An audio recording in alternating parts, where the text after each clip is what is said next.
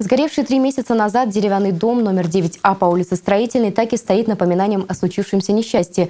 Жители соседних домов каждый день наблюдают неприятную картину. Но дело не только в неэстетичном виде руин, проходить рядом с погорельцем небезопасно. И самое главное, в дом с легкостью может попасть любой желающий. К слову, дети уже сделали его местом своих игр. Вот не дай бог, говорю, что-нибудь оторвется и прилетит в голову. Ни с того, ни с сего. Так и хоть ребенка, хоть взрослого, хоть кому достанется, так немало не будет.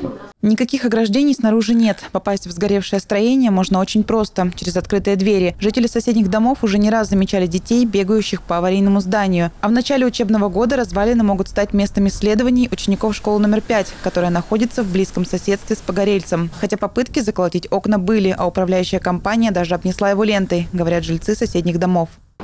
Такая окна они заколотили, все равно там разбивают все. Там лазят, мы видели. Но забивали обычно сами жители, которые съехали.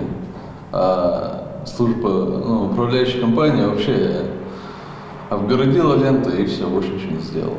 Управляющая компания «Служба заказчика» от комментариев о судьбе Погорельца отказалась. Когда жители улицы Строительной избавятся от опасного соседства, а главное, кто должен заняться ликвидацией развалин, мы узнали в городском управлении строительства и ЖКХ. Оказалось, чтобы снести аварийный дом, надо получить немало согласований и разрешений. На заседании межведомственной комиссии мэрии вынесли постановление. Дом надо снести. Следом Пожнадзор подтвердил факт отсутствия состава преступления. А далее следует этап оформления жилья в собственность муниципалитета.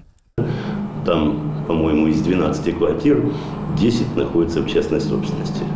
Отсюда следует, что должны быть подписаны договоры мены, и тогда мы вот после этого имеем полное юридическое право дом сносить. Сегодня городские чиновники ждут изменения в окружную программу, которая разрешит снести дом. Как только это случится, его ликвидируют, но не сразу. Пока объявят аукцион на работы, пока снесут, не раньше, чем через два месяца, говорят специалисты.